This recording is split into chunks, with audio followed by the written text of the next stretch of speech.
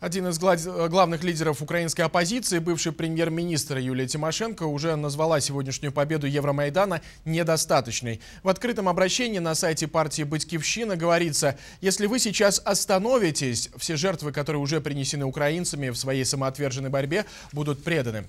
И, похоже, призыв Тимошенко услышан. Протестующие в Киеве и в других городах Украины расходиться не спешат. Елена Мещерякова о реакции Майдана на промежуточную победу. Первый акт уже отыграли, но декорации менять не спешат. Горы покрышек, ряды щитов. Наступление авторитарного режима остановлено не в Верховной Раде, а на подступах к стадиону «Динамо». Казалось бы, бери тулуп, иди домой. Но вольница Евромайдана решила повременить. Я абсолютно не доверяю. Я не доверяю ни одному слову наших властей, нашего правительства и нашего президента. Они обманывали нас больше, чем один раз. Говорили, не будут бить, а потом начались репрессии. По людям стреляли даже. Именно поэтому я не спешу уходить. Если мы сейчас вернемся домой, то каждого из нас поодиночке накажут очень жестоко. Стенка на стенку честнее и яснее. И политическая оппозиция, и действующая власть по-разному, но далеки от народа, который за два месяца прикипел к новому уличному миропорядку и готов ко второму акту сражения на тех же песчаных барьерах. За наказание силовиков, за компенсации пострадавшим и, главное, за перевыборы. Отставка Азарова в Украине все равно, что Медведева в России. Ничего не меняет. Я думаю, что воля будет народа полностью сменение всей власти.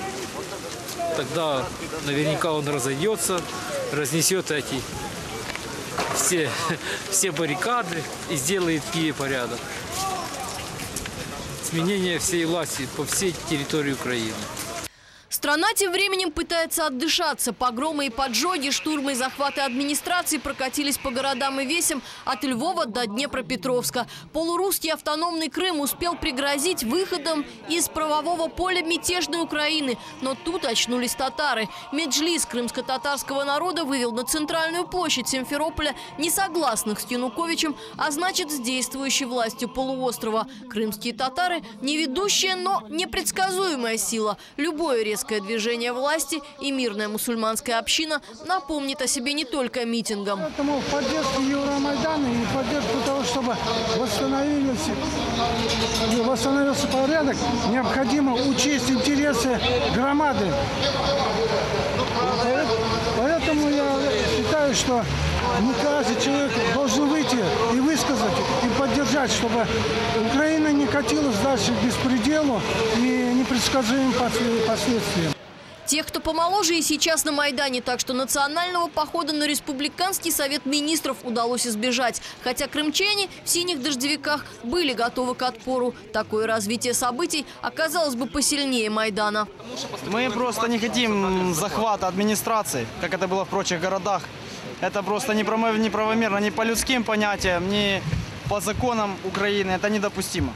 Разделенная общность, украинский народ демонстрирует высокий уровень гражданской сознательности. Выступают против насилия, беззакония и провокаций, нервно теребя в руках бутылку с зажигательной смесью. Любой политической искры достаточно, чтобы пламя европокрышек взметнулось вновь.